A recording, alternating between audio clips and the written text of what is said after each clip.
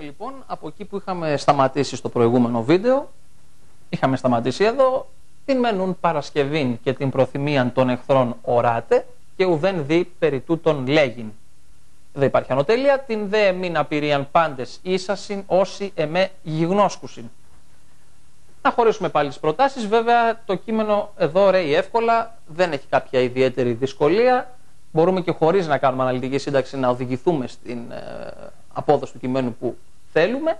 Ε, επομένως ε, έχουμε μια απλή εδώ περίοδο. Ας κάνουμε όμως το χωρισμό προτάσεων όπως το κάναμε και προηγουμένως βρίσκοντας τα ρήματά μας.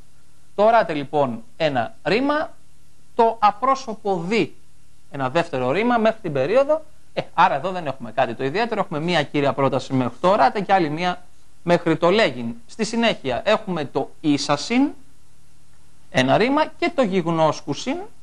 Εδώ βέβαια έχουμε δευτερεύουσα πρόταση εισαγόμενη με την αναφορική αντωνυμία. Όσοι η κύρια πρόταση στην περίοδο αυτή είναι το την δε εμήν απειρίαν πάντες ίσασιν. Εδώ πριν προχωρήσουμε να κάνουμε κάποιες ε, γραμματικές παρατηρήσεις και συντακτικές, ε, κυρίως με τα ρήματα που έχουμε, το δι αρχικά, το απρόσωπο δι, το πολύ συχνό αυτό απρόσωπο ρήμα στην αρχαία ελληνική, που το μεταφράζουμε πολύ απλά πρέπει ή είναι ανάγκη και στη συνέχεια να μιλήσουμε για το ίσασιν, γι' αυτό έχουμε δώσει και την παρατήρηση 15, για να δείξουμε ότι προέρχεται από το ρήμα είδα, γάμα πληθυντικό οριστικής του ρήματος είδα, του πιο ίσως απαιτητικού ρήματος της αρχαίας ελληνικής απογραμματικής άποψης, λόγω της, ε, των πολλών θεμάτων που αλλάζουν μέσα στον ίδιο χρόνο.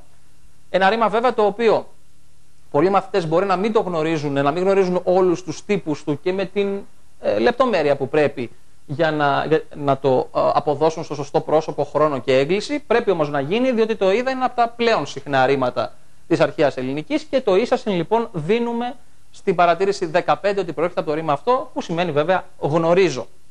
Ξεκινάμε λοιπόν, πολύ εύκολη η πρώτη μας περίοδος, την μεν ουν Παρασκευήν και την προθυμία των εχθρών οράτε, δηλαδή βλέπετε ή προσέχτε την προετοιμασία, η Παρασκευή, το λέμε και σήμερα άλλωστε, και την προθυμία των εχθρών.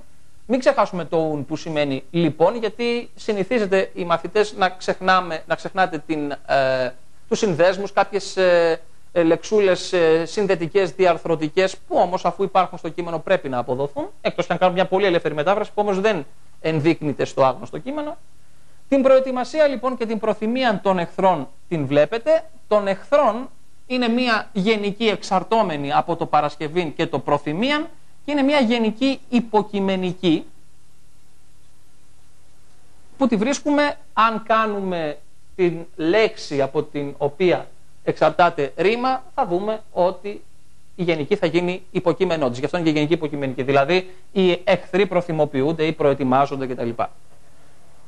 Την βλέπετε λοιπόν την προετοιμασία και την προθυμία των εχθρών και ουδέν δι λέγειν περί τούτων. Και δεν πρέπει να πω, εννοούμενο υποκείμενο είναι το με, θα εξηγήσουμε το γιατί, περί τούτων για αυτά.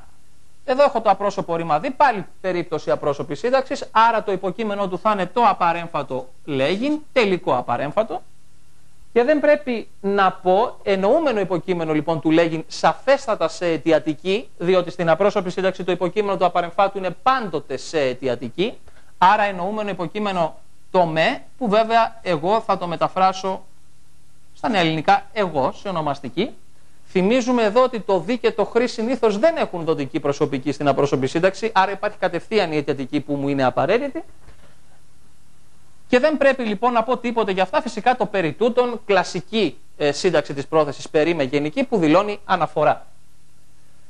Στην επόμενη πρόταση, την δική μου απειρία όλοι τη γνωρίζουν. Εδώ βέβαια το πάντες μπορώ να το θεωρήσω υποκείμενο του ρήματος και να μην το πω κατηγορηματικό προσδιορισμό στο ούτι. Στο τρίτο πληθυντικό πρόσωπο αυτό ισχύει. Όλοι λοιπόν γνωρίζουν την δική μου απειρία Όλοι ποιοι όλοι, όσοι με ξέρουν. Εδώ βέβαια έχω δύο συνώνυμα ρήματα, το είδα και το γιγνώσκω, θα μεταφράσω τη μία ξέρω, την άλλη γνωρίζω για να μην κάνω επανάληψη. Ετήσω με ούν ημάς δίκαια και ράδια χαρίσαστε, ανεφοργής και ημών ακούσε, όσπερ και των κατηγόρων. Εδώ έχω το ετήσωμε, ένα ρήμα, και Δεν βλέπω άλλο ρήμα έτσι με μια πρώτη ανάγνωση. Βλέπω όμως εδώ το, το όσπερ, το αναφορικό παραβολικό επίρρημα που σίγουρα εισάγει δευτερεύουσα αναφορική παραβολική πρόταση. Δεν βλέπω βέβαια ρήμα μέσα. Εδώ βέβαια να θυμίσουμε ότι στις παραβολικές προτάσεις συχνά το ρήμα εννοείται από την προηγούμενη πρόταση γιατί εύκολα εννοείται και εμείς σήμερα θα πούμε ότι είναι ε, τόσο καλός όπως ακριβώς και ο προηγούμενος που είχα γνωρίσει. Είδατε ότι στην παραβολική πρόταση δεν έβαλα ρήμα γιατί εννοείται εύκολα από την προηγούμενη. Άρα η κύρια πρόταση είναι όλο το υπόλοιπο με ρήμα το ετήσομε. Παρατήρηση 16 για το ετέομαι ετούμε, ζητώ, μέλλοντας πάλι, άρα θα ζητήσω, θα ζητήσω λοιπόν, το ρήμα τώρα ετέομαι ετούμε δίπτωτο με αιτιατική, μάλλον συγγνώμη, παίρνει αντικείμενο αιτιατική το ημάς και το απαρέμφατο χαρίσαστε. Θα ζητήσω λοιπόν από εσάς να χαρίσετε, δηλαδή να κάνετε χάρη, υποκείμενο φυσικά του απαρεμφάτου είναι το ημάς, αυτό έχει δηλαδή ένα διπλό ρόλο, αντικείμενο του ρήματος και υποκείμενο του απαρεμφάτου ταυτοχρόνως. Θα ζητήσω λοιπόν από εσάς χαρίσαστε δίκαια και ράδια. Εγώ έχω δώσει στην παρατήρηση στις παρατηρήσεις 17-18 ότι καλό είναι να μεταφράσουμε να κάνετε μία δίκαιη και εύκολη χάρη γιατί το δίκαια και το ράδια είναι αντικείμενα στο χαρίσεστε, στο χαρίσαστε, αλλά είναι σύστιχα αντικείμενα. Το σύστιχο αντικείμενο όταν βλέπω επίθετο σε αιτιατική πληθυντικού δετέρου γένους, συχνά είναι σύστιχο. Θα μιλήσουμε γι' αυτό όταν θα κάνουμε αναφορά στο σύστιχο αντικείμενο, πώς το βρίσκουμε. Όλο μαζί λοιπόν μπορώ να το μεταφράσω. Θα ζητήσω λοιπόν από εσάς να κάνετε μία δίκαιη και εύκολη χάρη.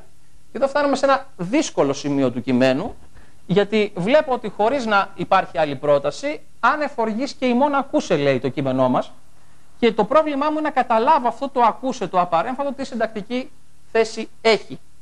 Το γεγονός ότι υπάρχει κόμμα, πολλούς μπορεί να τους ε, ε, κάνει να απονηρευτούν, να καταλάβουν ότι μπορεί να έχουμε κάπου επεξήγηση.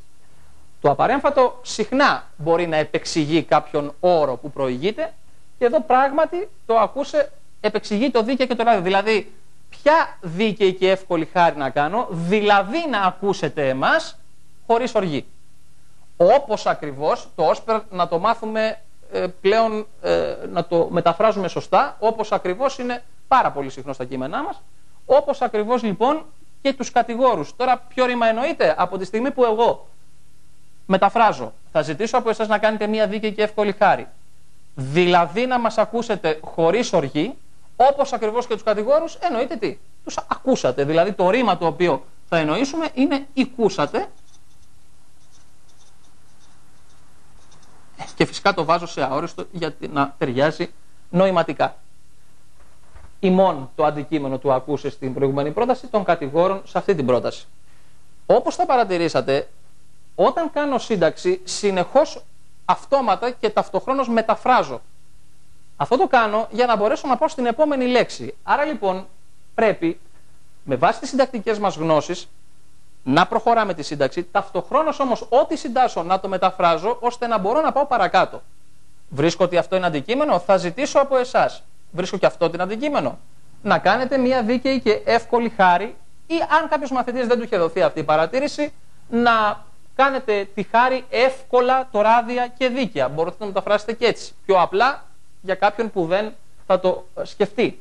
Δηλαδή να μας ακούσετε ανεφοργής, ένας εμπρότης προσδερμός εξαίρεσης, όπως ακριβώς ακούσατε και τους κατηγόρους. Εδώ και πάλι να τονίσω ότι πρέπει να γνωρίζουμε στοιχεία για την απρόσωπη σύνταξη και φυσικά για τις συντάξεις των ρημάτων, γι' αυτό οι παρατηρήσεις έχουν δοθεί διευκρινιστικά.